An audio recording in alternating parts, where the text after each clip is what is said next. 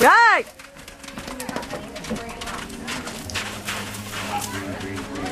I have no idea what John is on this thing.